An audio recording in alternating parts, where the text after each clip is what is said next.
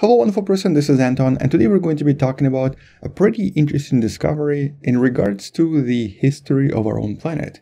The discovery that suggests that conditions on early Earth were exceptionally similar to current conditions on Venus, while at the same time discovering a few more things that actually kind of surprised the scientists. So let's talk a little bit more about this and what all of this means, and Let's start with a brief reminder that our planet Earth changed throughout its history quite dramatically. The beautiful blue planet that we know today is just one of many stages our planet has gone through. Like for example, as this image from Australian National University shows, there was a very long period of many hundreds of millions of years when our planet was undergoing a lot of different collisions, the period we often refer to as late heavy bombardment, during this period, the planet was very likely extremely different from how it is today. It may have resembled something close to what you see right here, basically a very large, very dangerous desert world, with the moon itself also being extremely close in comparison. Then, when the life appeared on the planet, we believe that the color of the planet changed to purple, mostly because some of the early life that we actually also discovered still present on the planet in certain conditions was producing a lot of purple elements, elements that acted very similar to the green chloroform that plants use today. And so a lot of these organisms that lived on the planet, especially in the water, may have actually transformed our planet, turning it a completely different color from what it is today. And this is referred to as the purple earth hypothesis. There were also several periods when the planet was most likely something like this. This is known as the snowball hypothesis, and we believe this happened at least three times, but probably even more than that. The first such occurrence was probably because of the so-called oxygenation event that released a large amount of oxygen into the atmosphere, most likely also killing all of the organisms that used to make the planet purple. And because of the sudden increase in oxygen and most likely the lack of other gases, specifically greenhouse gases, the planet became extremely cold and turned into a snowball. Although for now that's just one of the many many explanations we have about what may have happened. But before all of these events, before the bombardment, before the purple planet, and slightly after the creation of the planet from the protoplanetary disk, the Earth was in a period known as the Hadean period. When the planet was essentially a lava world, it was extremely hot, it had very very large lava oceans formed on the surface, and overall it probably wasn't a place you would want to live on. And although we're pretty sure that our planet had this stage, we're not entirely certain what other conditions the planet had on the surface, specifically in regards to the atmosphere. So even though, for example, we're pretty sure the planet was really hot on the surface, we don't really know if the atmosphere was thick, if there was any atmosphere, and uh, what sort of interaction there was between the planet and the atmosphere itself. At least we didn't know, until the recent paper that was able to analyze all of this using a very ingenious technique and also several samples of different ancient rocks that we have from this period.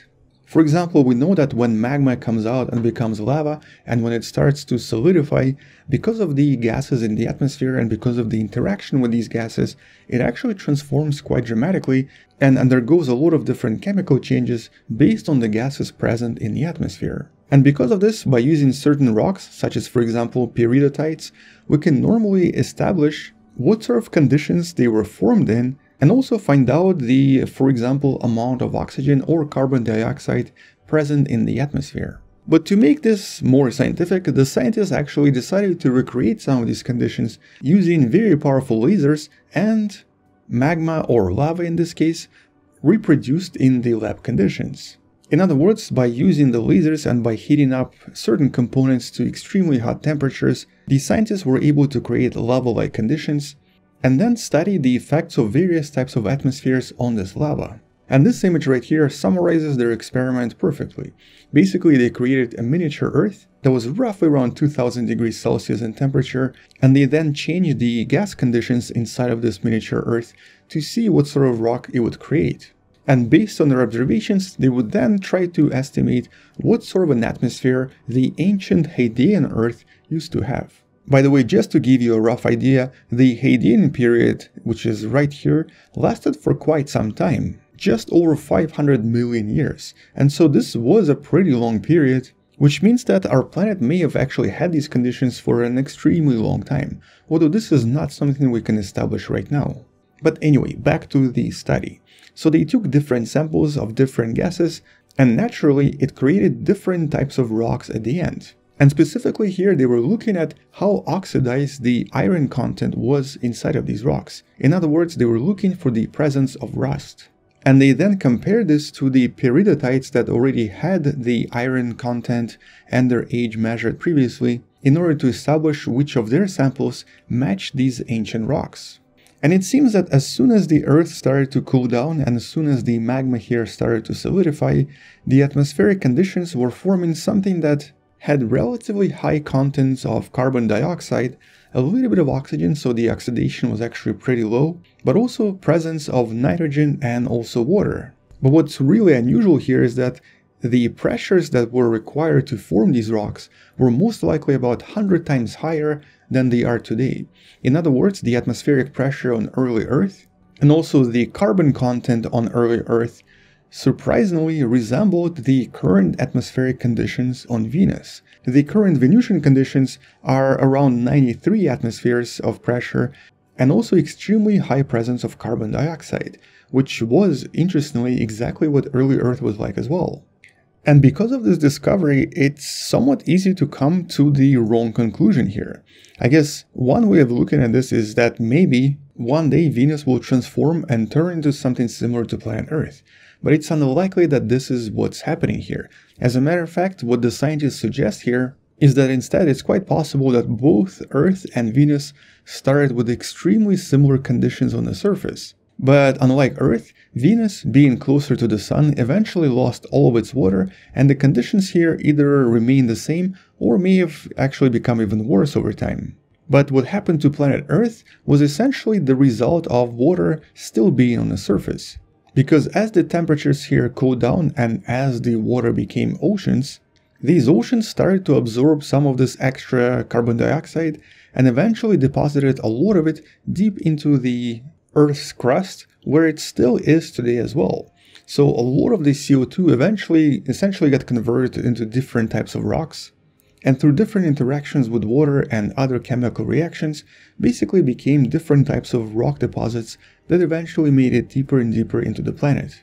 Then, even more CO2 started to be captured by various types of organisms, first by purple bacteria, then by green algae, which overall reduced the CO2 levels even more, thus reducing the pressure on the planet and most likely creating the atmospheric conditions we currently have on the planet. But because of this discovery, it also kind of creates a bit of a problem for the origin of life, or at least our understanding of the origin of life on the planet.